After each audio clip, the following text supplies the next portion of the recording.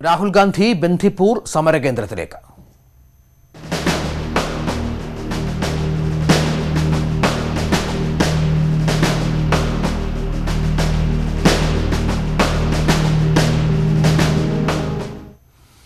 ബന്ദിപ്പൂർ രാത്രി യാത്രാ നിരോധനത്തിനെതിരായ ഉപവാസ സമരത്തിൽ രാഹുൽ ഗാന്ധി അല്പസമയത്തിനകം പങ്കെടുക്കും. സമരസമിതി നേതാക്കളുമായി രാഹുൽ ചർച്ച നടത്തും. ഇന്നലെ രാത്രി കോഴിക്കോടെത്തിയ രാഹുൽ കൽപ്പറ്റയിൽ നടക്കുന്ന ജില്ലാ വികസന സമിതി യോഗത്തിലും പങ്കെടുക്കുന്നുണ്ട്. ബത്തേരിയിൽ നിന്ന് സി വി അനുമോദ് ചേരുന്നു. അനുമോദ് രാഹുൽ എപ്പോഴേക്കെത്തും? രഞ്ജിത്ത് രാഹുൽ സുൽത്താൻ ബത്തേരിക്ക് സമീപം എത്തിക്കഴിഞ്ഞിരിക്കുന്നു. അദ്ദേഹം ഇപ്പോൾ ബത്തേരിക്ക് അടുത്തുള്ള ഒരു ആശുപത്രിയിൽ വിനായക ആശുപത്രിയിലേക്കാണ് ആദ്യം പോയിരിക്കുന്നത്. അവിടെ ഈ സമരസമിതിയിലെ നാല് പേർ നിരാഹാരം അനുഷ്ഠിച്ചിരുന്നു. അവർ ആരോഗ്യതര മോശമായതിനെ തുടർന്ന് കഴിഞ്ഞ ദിവസം ആശുപത്രിയിലേക്ക് മാറ്റിയിരുന്നു. ഇവരെ സന്ദർശിക്കാനാണ് രാഹുൽ ആദ്യം പോകുന്നതെന്നാണ് നമുക്ക് അറിയാൻ സാധിക്കുന്നത്. അതിനുശേഷം അദ്ദേഹം അല്പസമയത്തിനുള്ളിൽ ബത്തേരിയിലെ ഈ സമരപന്തലിലേക്ക് എത്തും. പത്താം ദിവസമാണ് ഇവിടെ സമരം ഇന്ന് തുടങ്ങിയിട്ട് അഞ്ച് നാല് പേർ നിരാഹാരം അനുഷ്ഠിക്കുന്നുണ്ട് ഒരാൾ ഉപവാസം അനുഷ്ഠിക്കുന്നുണ്ട്.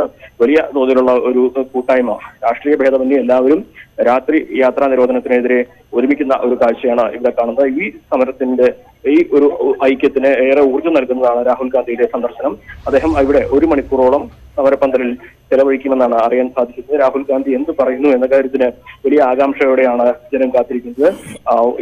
വിവിധ മേഖലകളിൽ നിന്നും നിരവധി പേർ ഈ സമരപന്തലിനടുത്തേക്ക് ഇപ്പോൾ എത്തിക്കഴിഞ്ഞിരിക്കുന്നു. രാഹുൽ ഗാന്ധിയുടെ വരവ് ഈ തങ്ങളുടെ ആവശ്യത്തിന് ഒരു ദേശീയ തലത്തിലുള്ള പ്രാധാന്യം കൊണ്ടുവരും അത്തരത്തിലൊരു ചർച്ചയാക്കും എന്ന പ്രതീക്ഷയിലാണ് വയനാട് നിവാസികൾ എല്ലാവരും അല്പസമയത്തിനകം രാഹുൽ ഗാന്ധി സമരപ്പം എത്തും എന്നാണ് നമുക്ക് അറിയാൻ സാധിക്കുന്നത്. അനുമതപ്പം ഈ സമരത്തിന് ഓരോ ദിവസവും പിന്തുണ കൂടുകയാണ് ആണല്ലോ?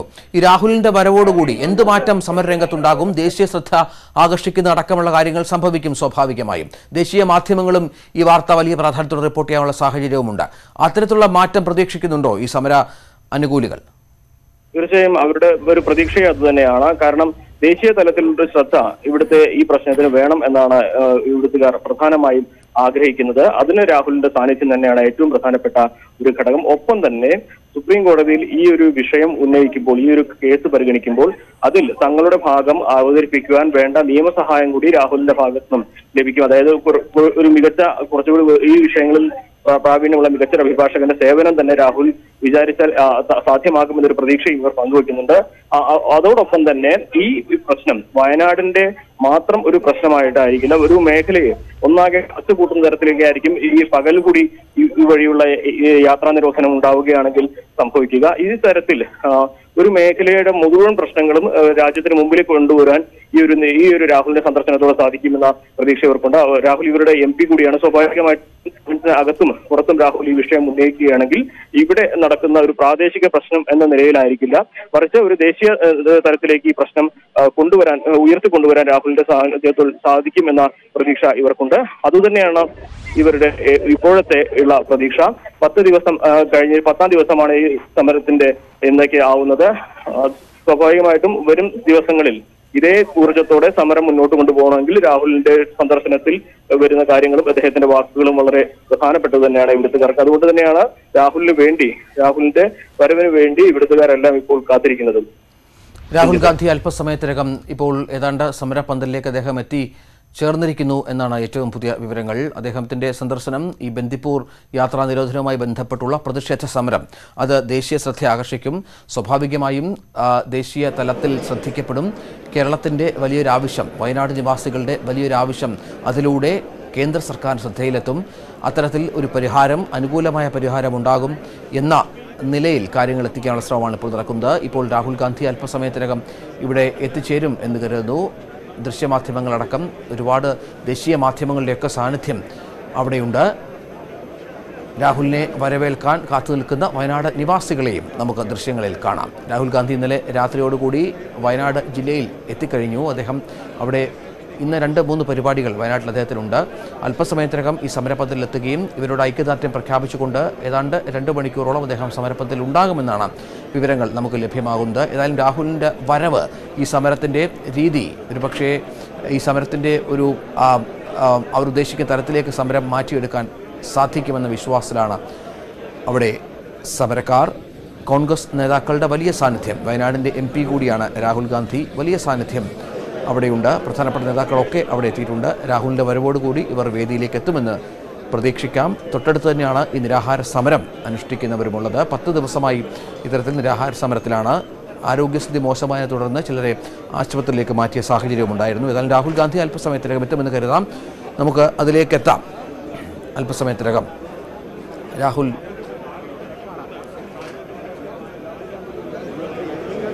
അനുമോദ് ഈ തരത്തിലുള്ള മാറ്റം സമരത്തിൽ. ഇത് കർണാടകയുമായി ബന്ധപ്പെട്ട് ഒരുപാട് പേർ സംസാരിച്ചിരുന്നു.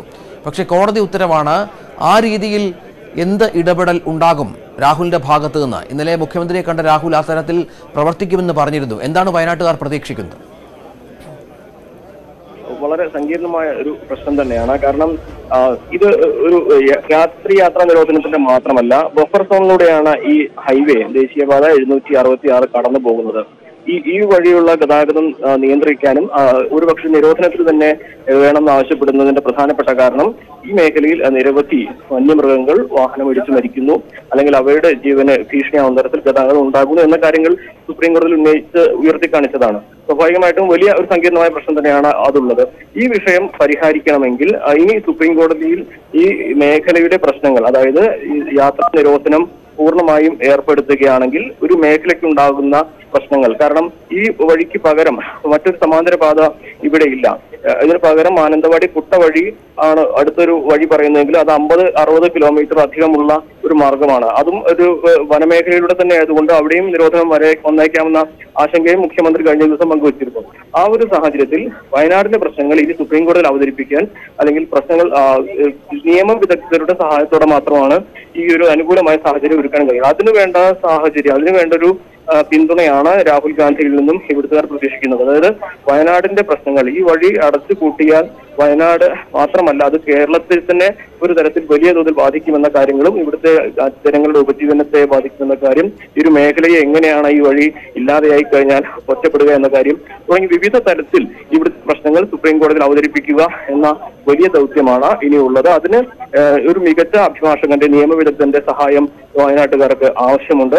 രാഹുലിന്റെ സാന്നിധ്യം രാഹുൽ ഈ പ്രശ്നത്തിൽ അത്തരത്തിലൊരു ഇടപെടൽ നടത്തുകയാണ് ഇവിടുത്തെ ആഗ്രഹിക്കുന്ന ഒരു കാര്യം. അത്തരത്തിൽ ചില സൂചനകളും രാഹുൽ കഴിഞ്ഞ ദിവസം സമരസമിതി പ്രവർത്തകർക്ക് രാഹുലിന്റെ പക്കൽ നിന്നും ലഭിച്ചു എന്ന വിവരവും നമുക്ക് ലഭിക്കുന്നുണ്ട്. ആ- അതാണ് ഇവിടുത്തെ പ്രധാനപ്പെട്ട ഒരു ആവശ്യം. ഈ ഒരു ബഫർ സോണിലൂടെയുള്ള ഗതാഗതം പൂർണമായും നിരോധിക്കുകയല്ല. മറിച്ച് നിയന്ത്രണങ്ങൾ തുടർന്നാലും പകൽ കൂടിയുള്ള സഞ്ചാരം നിരോധിക്കാതിരിക്കാൻ ഒരു സാഹചര്യം. അതാണ് ഇവിടെ പ്രധാനമായിട്ട് ഉന്നയിക്കുന്ന ഒരു ആവശ്യം. കഴിഞ്ഞ പത്ത് വർഷമായിട്ട് രാത്രിയാത്ര പൂർണമായും നിരോധിച്ചിരുന്നു. ആ നിരോധനം ഇനി പകൽ കൂടി വരുമോ എന്ന ആശങ്കയിലാണ് വയനാട്ടുകാർ ഇപ്പോൾ ഈ സമരം തുടങ്ങിയിരിക്കുന്നത്.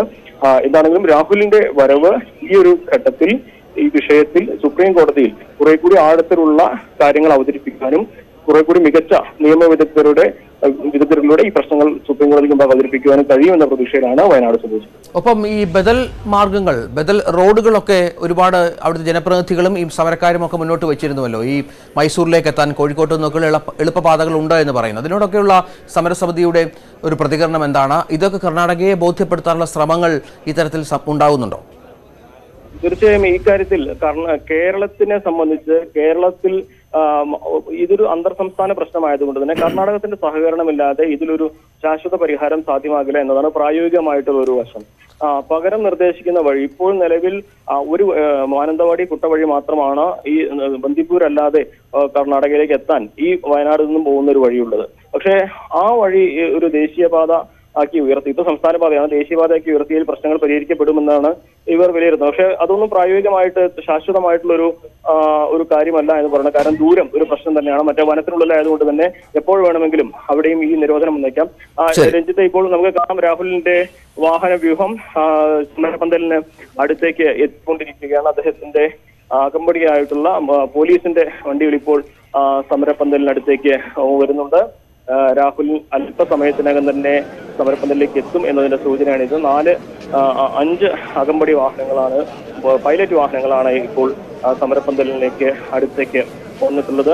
ഇതിന് പിന്നിലെ രാഹുൽ വാഹനവും ഇപ്പോൾ എത്തിയിരിക്കുന്ന ദൃശ്യമാണ് നമ്മൾ കണ്ടുകൊണ്ടിരിക്കുന്നത്. രാഹുൽ നേരത്തെ ഇവിടെ നിരാഹാരം അനുഷ്ഠിച്ച് തുടർന്ന് ആവശ്യ നിരയെ തുടർന്ന് ആശുപത്രി പ്രവേശിപ്പിച്ചവരെ കണ്ടതിന് ശേഷമാണ് രാഹുൽ ഇപ്പോൾ സമരപന്തലിലേക്ക് വന്നുകൊണ്ടിരിക്കുന്നത് നമ്മൾ ദൃശ്യങ്ങളിൽ കാണാം. രാഹുൽ ഗാന്ധിയുടെ വാഹന വ്യൂഹമാണ് കാണുന്നത്. അദ്ദേഹം സമരപന്തലിലേക്ക് എത്തിക്കൊണ്ടിരിക്കുകയാണ്. കഴിഞ്ഞ പത്ത് ദിവസമായി ബന്ദിപ്പൂർ യാത്രാ നിരോധനവുമായി ബന്ധപ്പെട്ട് നടത്തുന്ന സമരത്തിന് ഐക്യദാർഢ്യം പ്രഖ്യാപിക്കുക തന്റെ പിന്തുണ അറിയിക്കുക. വയനാട് എം എന്ന നിലയിൽ ജനങ്ങൾക്കൊപ്പം നിന്ന് ഈ ആവശ്യത്തിന് ആവശ്യം നേടിയെടുക്കുന്നതിന് ഉള്ള ശ്രമങ്ങൾ നടത്തുക. ഇതൊക്കെ രാഹുലിന്റെ ഭാഗത്ത് നിന്ന് സംഭവിക്കുന്നുണ്ട്. ഏതായാലും ഇപ്പോൾ കാണുന്ന ദൃശ്യങ്ങൾ രാഹുൽ അങ്ങോട്ടേക്ക് ഇപ്പോൾ എത്തിക്കൊണ്ടിരിക്കുകയാണ്. അഞ്ചോളം അകമ്പടി വാഹനങ്ങൾ ഉണ്ട് അദ്ദേഹത്തിനൊപ്പം. മറ്റ് സുരക്ഷാ ക്രമീകരണങ്ങൾ ബി വി ഐ പിക്ക് ആവശ്യമായ മറ്റ് സുരക്ഷാ ക്രമീകരണങ്ങൾ കൂടി ചേർത്താണ് രാഹുൽ ഗാന്ധിയുടെ വാഹനവ്യൂഹം കടന്നു വരുന്നത് വലിയ സുരക്ഷ അവിടെ ഒരുക്കിയിട്ടുണ്ട്. പ്രത്യേക പോലീസ് കണ്ട് തിരിച്ചറിഞ്ഞ് പ്രത്യേക പെർമിഷൻ നൽകിയ ആൾക്കാരെ മാത്രമാണ് ഈ സമരപന്തലിലും ഒപ്പം ഈ വേദിയിലുമൊക്കെയായി കടത്തിവിട്ടിരിക്കുന്നത്. രാഹുൽ അല്പസമയത്തിനകം ഇവിടേക്ക് എത്തും. രാഹുൽ എത്തിക്കഴിഞ്ഞു. ഇതിന് പുറത്തുള്ള സമരപന്തലിലേക്ക് അദ്ദേഹം എത്തിക്കഴിഞ്ഞു. വളരെ കുറച്ചാൾ സാധാരണ സാധാരണ ഒരു കോൺഗ്രസ് സമരത്തിന്റെ മുന്നണിയിൽ കാണുന്ന തരത്തിൽ ഉള്ള ആളുകൾ ഇല്ല. അവിടെ പി കെ കുഞ്ഞാലിക്കുട്ടിയെ കാണാം കെ സി വേണുഗോപാലിനെ കാണാം രമേശ് ചെന്നിത്തലയും കാണാം. ഒപ്പം തൊട്ടുപുറകെ മറ്റ് പ്രധാനപ്പെട്ട നേതാക്കളെയും കാണാം. അവർ രാഹുൽ ഗാന്ധി എത്തും. അല്പം അദ്ദേഹത്തിന്റെ സുരക്ഷാ സംവിധാനം രാഹുൽ ഗാന്ധി എത്തിക്കഴിഞ്ഞു. തത്സമയ ദൃശ്യങ്ങളാണ് കാണുന്നത്.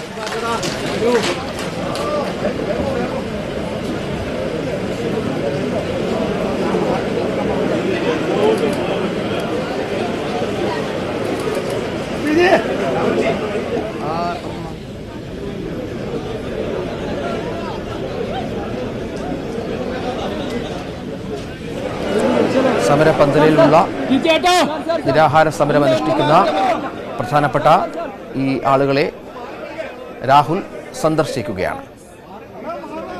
ദൃശ്യങ്ങളാണ് കണ്ടുകൊണ്ടിരിക്കുന്നത്. Wayanad D C president I C Balakrishnan അടക്കം P K Kunhalikutty K C Venugopal Ramesh Chennithala എന്നീ പ്രമുഖരുടെ സാന്നിധ്യം അവിടെയുണ്ട്. രാഹുലിനൊപ്പമുണ്ട്.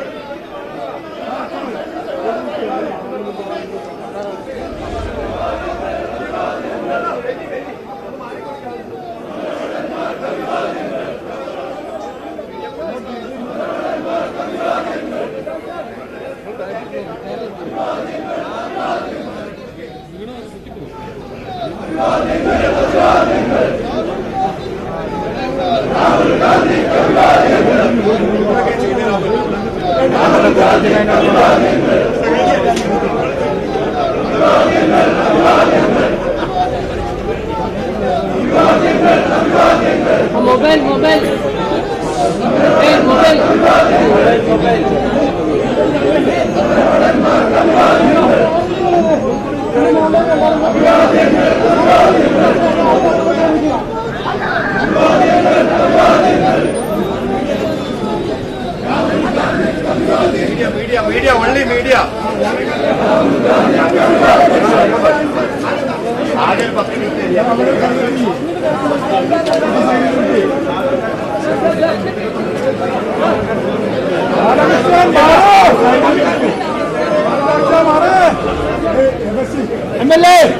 अपर साइड लेके एसपीजी एसपीजी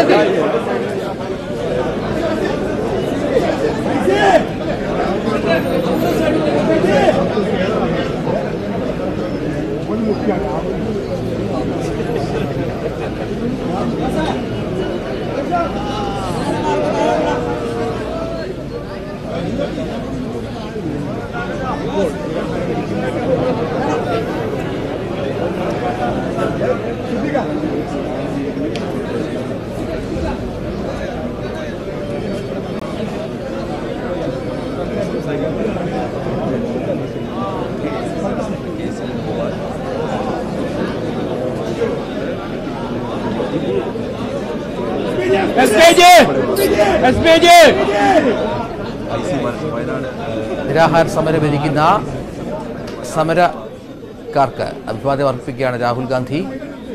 അദ്ദേഹം എല്ലാവരെയും സന്ദർശിച്ച് അവരുടെ വിവരങ്ങൾ തിരക്കുന്നു.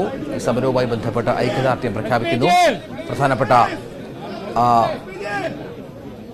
നേതാക്കൾ യു ഡി എഫ് നേതാക്കൾ രാഹുലിനൊപ്പമുണ്ട്. കെ സി വേണുഗോപാൽ എപ്പോഴും അദ്ദേഹത്തിനൊപ്പമുണ്ട്. രമേശ് ചെന്നിത്തലയുണ്ട് കുഞ്ഞാലിക്കുട്ടിയുണ്ട്. T സിദ്ദിഖുണ്ട് I C Balakrishnan Wayanad D C C പ്രസിഡന്റുണ്ട്. ഏതായാലും രാഹുലിന്റെ സന്ദർശനത്തോടുകൂടി ഈ സമരത്തിന്റെ ഒരു ലക്ഷ്യം ഒരു പക്ഷേ അതിലേക്ക് കുറച്ചുകൂടി അടുക്കാൻ സാധിക്കുമെന്ന ആത്മവിശ്വാസമാണ് ഈ സമര അനുകൂലികൾക്ക് സമര പ്രവർത്തകർക്കുള്ളത്. ജനങ്ങളുടെ വലിയ സാന്നിധ്യം വയനാട്ടുകാരുടെ വലിയൊരു സാന്നിധ്യം അവിടെയുണ്ട്. അവരുടെ എം പി കൂടിയാണ് രാഹുൽ ഗാന്ധി. ഇപ്പുറത്തേക്ക് തിരിഞ്ഞിക്കാൻ ഇപ്പുറത്തേക്ക്.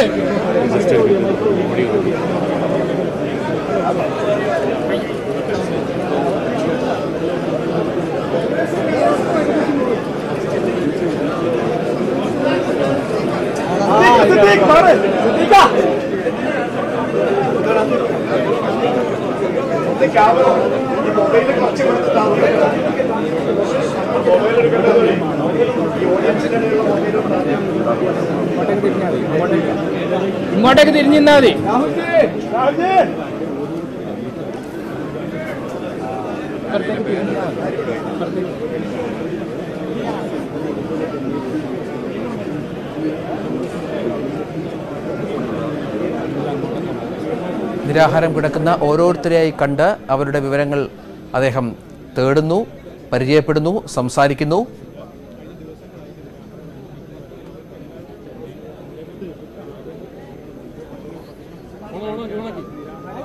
ഒരു മണിക്കൂറെങ്കിലും സമരപ്പന്തലിൽ അദ്ദേഹം ഇവർക്കൊപ്പം ഉണ്ടാകും എന്നാണ് ലഭിക്കുന്ന വിവരം.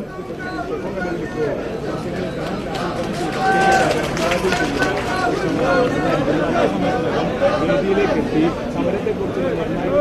കേൾക്കാമോ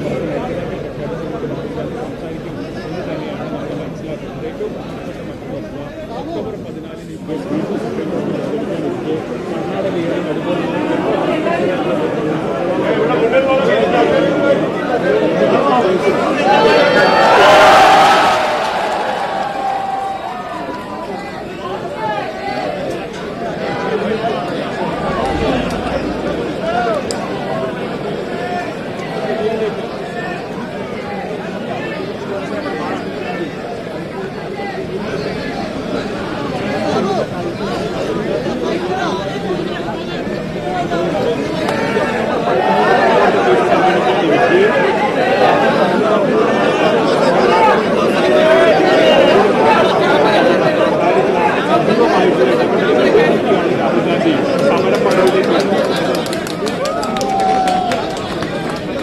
ലോക്സഭാ കേൾക്കാമെന്ന് കരുതുന്നു. അനുമോദ് അനുമോദ് ഗാന്ധി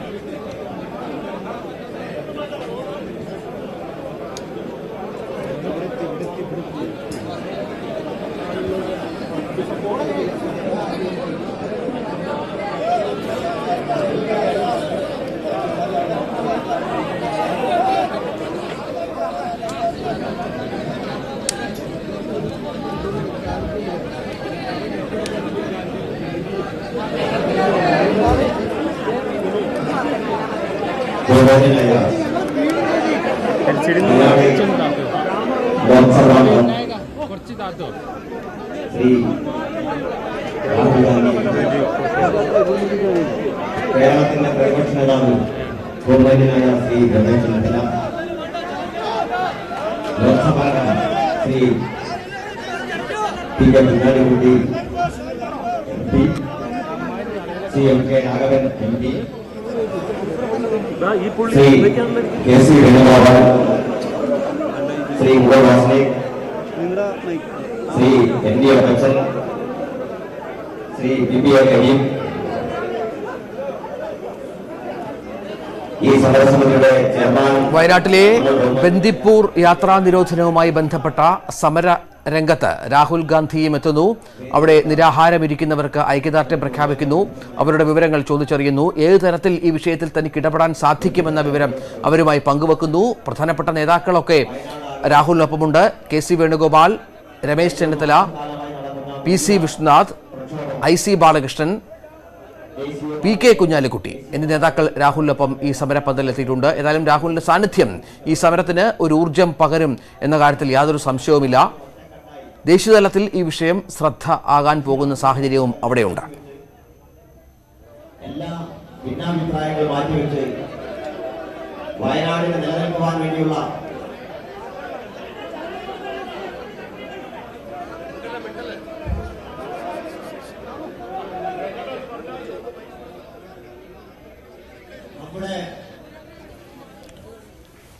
രാഹുൽ ഗാന്ധി അല്പസമയത്തിനകം ഈ സമരത്തിന് അനുകൂലികളെ അനു അഭിസംബോധന ചെയ്ത് സംസാരിക്കും നമുക്കതിലേക്ക് തിരിച്ചു വരാം.